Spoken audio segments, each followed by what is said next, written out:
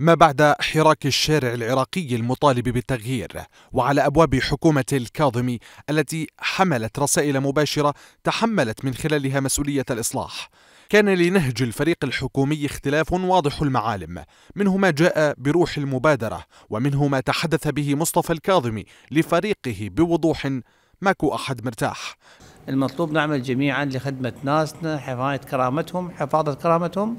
ليطلب من وزرائه نزولا للشوارع والوزراء بدورهم. صنع بعضهم ما صنع من بناء وطني للقدوة والإصلاح. علي علاوي وزير المالية الشخصية الوزارية التي صنعت معالم البيت المالي العراقي بما يرفع من عماده. أعلنها بصريح العبارة وبقرار شخصي لا تراجع فيه إذ وجه كتابا رسميا بالطلب من مجلس الوزراء بإعفائه من قرار منحه قطعة أرض كغيره من الوزراء مخصصة لهم ومنح قطع الأرض للوزراء عرف وبروتوكول متبع في مجالس وزراء العرب والعالم.